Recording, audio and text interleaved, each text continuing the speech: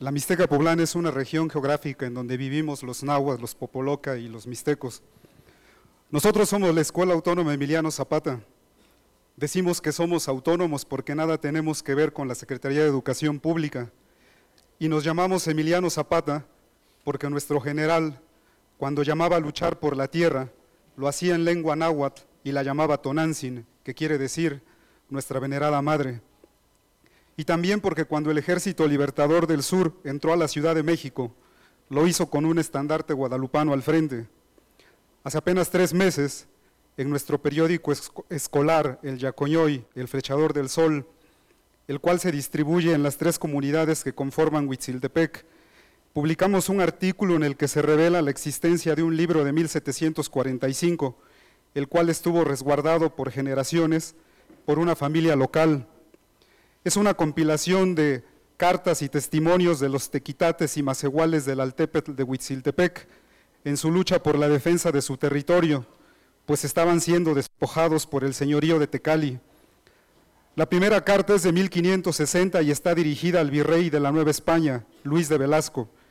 En ella los antiguos huitziltepecas argumentan que su territorio les pertenece desde tiempos anteriores a su gentilidad, es decir, desde antes de que el cristianismo fuera impuesto en tierras mixtecas. Hermanos y hermanas del CNI, Huitziltepec es uno de los últimos pueblos nahuas, y no porque ya no haya más, sino porque ha sido agredido y violentado y despojado de manera brutal de perder irremediablemente su identidad indígena lo cual se repite por toda la Mixteca poblana. Por un lado, con la conquista española, la Iglesia Católica, porque no hay que olvidar que la guerra de conquista empezó con una guerra religiosa, nos impuso la historia del pueblo judío. Nuestra historia propia fue quemada y suplantada por la Biblia. Por otro lado, el Estado mexicano, ya en el siglo XX, implantó una política genocida contra nuestra cultura, en la escuela primaria de Santa Clara, Huitziltepec, se castigaba a barazos a los niños que cometían la osadía de hablar en lengua náhuatl. Pero la Mixteca poblana, Izcaquistla, Tepeji, Tlacotepec, se encuentra regada de antiguos vestigios arqueológicos que, cual mudos testigos, demuestran que somos originarios de estas tierras y no del Medio Oriente. Además, en Huitziltepec decimos muchas palabras en náhuatl todavía, en la Escuela Autónoma Emiliano Zapata estamos recuperando nuestra lengua y nuestra historia. Queremos tener un rostro y un corazón propios y verdaderos. Somos un pequeño espacio en el que se imparten clases públicas, gratuitas y científicas, en donde aprendemos que no existen los fenómenos sobrenaturales, ni en la naturaleza, ni en la sociedad.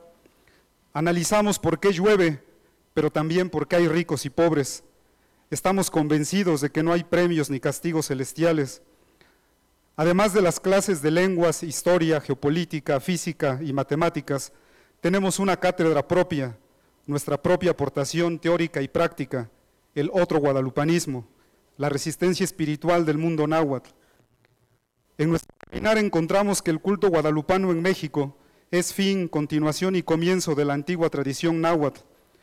Con la historiografía correspondiente, afirmamos que la pintura que se encuentra en la Basílica de Guadalupe y el texto, escrito en náhuatl, que narra la historia de las apariciones al indígena Juan Diego, son simple y sencillamente dos obras artísticas realizadas por sabios nahuas a mediados del siglo XVI, las cuales contienen símbolos y palabras sagradas del antiguo mundo náhuatl.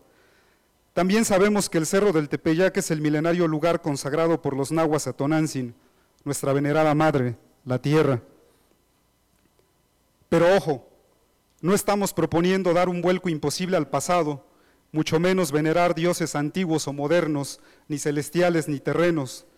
Estamos proponiendo, sí, una espiritualidad originaria de estas tierras, fundamentada no en fenómenos y fuerzas sobrenaturales, sino en el amor y respeto a nuestra venerada Madre, la Tierra, este planeta, nuestra casa común. En Huitziltepec como en todos los pueblos indígenas de México, estamos viviendo en carne propia la tragedia causada por el capitalismo, una guerra contra la madre tierra y contra sus hijos e hijas, nosotros, nosotros.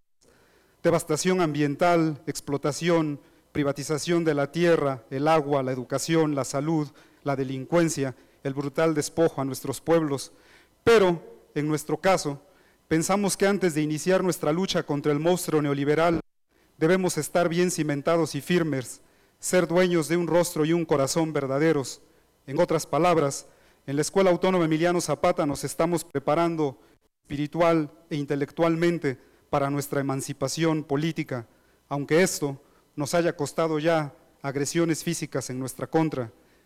Decimos no a los partidos políticos y sí a los acuerdos de San Andrés. Nuestra lucha es por los derechos y la cultura indígenas y por cuidar y defender a Tonantzin, nuestra venerada madre, la tierra, sin violencia y hasta morir si es preciso.